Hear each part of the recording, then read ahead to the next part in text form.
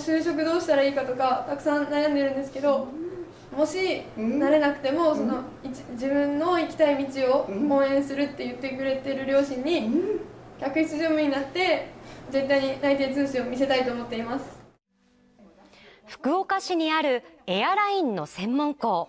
インターナショナルエアアカデミー。先週行われたオープンキャンパスで学生たちが見せた涙の理由それは。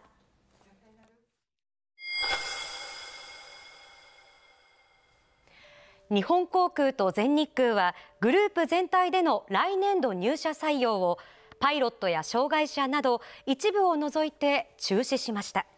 客室乗務員などの採用は行われません。いまだ採用再開の見通しが立たない航空業界。そうした状況で苦境に立たされているのが客室乗務員やグランドスタッフを目指す学生たちです。不安とショックっていうのが一番大きくて今までそのエアライン一直線で突き進んでいたのでそれが閉ざされた時にこうどの方向に突き進んでいったらいいかっていうのがとても不安でした。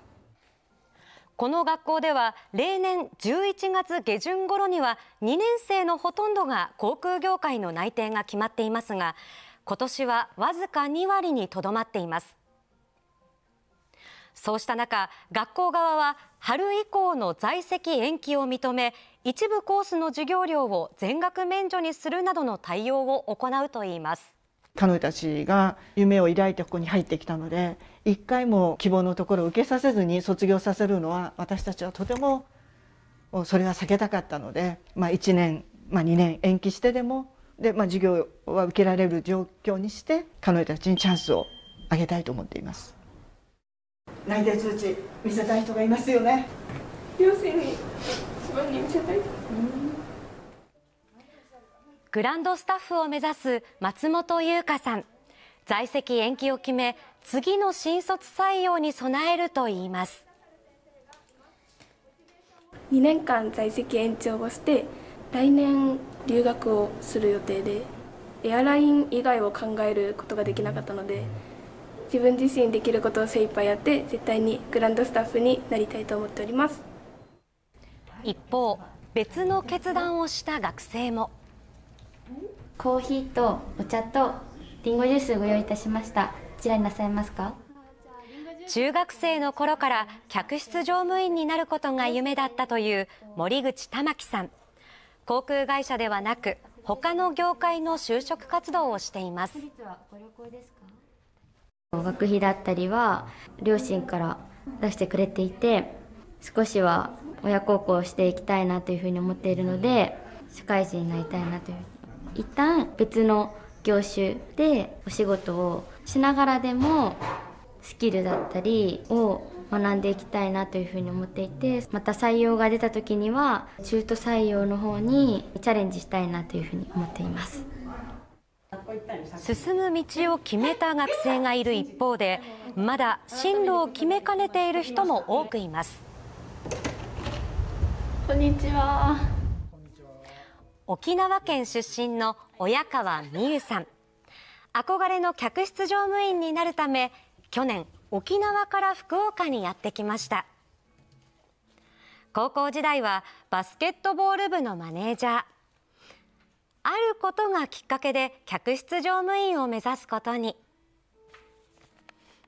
部活動で台湾遠征に行ったんですけどその客室乗務員の仕事をなんかやっぱ目で追ってて限られてる空間の中で最高のおもてなし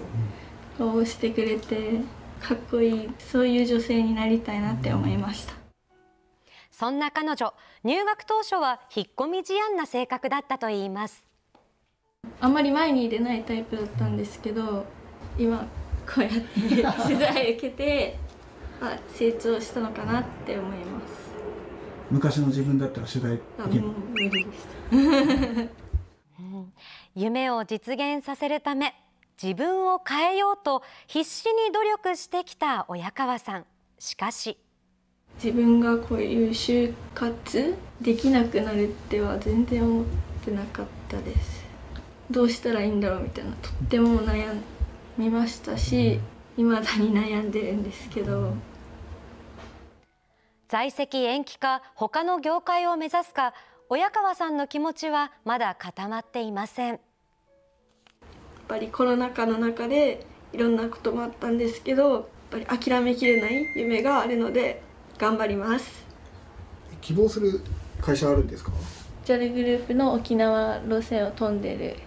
会社です、まあ、地元が沖縄っていうのもあるので沖縄の魅力を伝えれるようになりたいです